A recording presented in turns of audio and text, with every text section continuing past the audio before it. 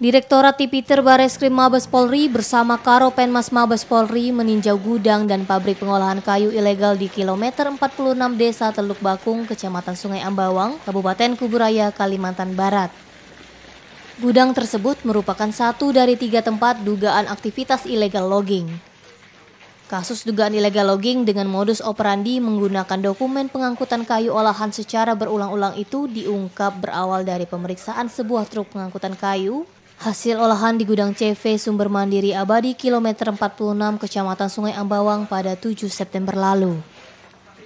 Dari pemeriksaan ditemukan muatan kayu menggunakan dokumen atas nama CV Rimbah Gemilang Indah yang ternyata telah digunakan pada tanggal 5 September dan dibongkar di gudang CV Pusaka Damai Sentosa.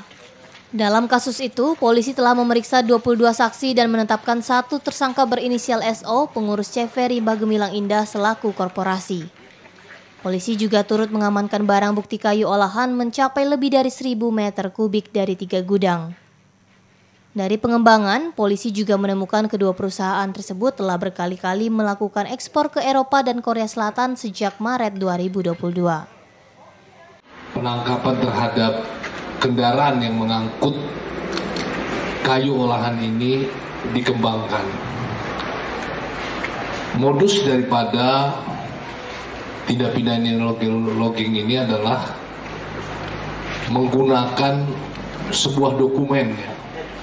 sebuah dokumen SKHH kayu olahan yang digunakan secara berulang. Jadi modus ini selain menggunakan dokumen secara berulang-ulang juga diduga melakukan pengambilan atau memungut hasil kayu olahan secara tidak sah. 100,6 eh, kubik ini ini yang sudah kita nyatakan bahwa sebagai barang bukti sementara dan akan berkembang. Masih ada sekitar 1000 lebih kubik yang masih dalam proses pengusulan untuk dihitung dan dilakukan pengecekan pemeriksaan oleh ahlinya. Adapun hasil uh, penyelidikan, ya penyelidikan uh, pengembangan pada CVSMA dan PDS, ya diduga bahwa perusahaan-perusahaan tersebut telah melakukan beberapa kali ekspor. Ini saat ini kita menggagalkan ekspor yang tadi sesuai perhitungannya. Tujuannya adalah ke Eropa dan Korea Selatan. Ya, saat ini CVSMA sendiri sejak Maret 2022 telah melakukan 18 kali ekspor dengan jumlah ekspor lebih kurang 540 kubik. Kayu-kayu yang berasal dari wilayah Kabupaten Ketapang itu diperoleh dari perambahan hutan-hutan tanpa izin HPH.